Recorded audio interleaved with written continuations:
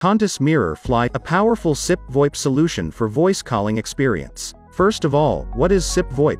And how does it help you in your line of business? Let's see that in this video. VoIP. Voice over Internet Protocol. Instead of traditional telephone lines, VoIP is used to connect calls over the Internet. To make VoIP calls, all you need is a VoIP-enabled phone and a VoIP software. Now, let's see about SIP and how it's interconnected to VoIP. SIP. Session Initiation Protocol. SIP is a protocol used for managing multimedia communication sessions such as voice and video calls.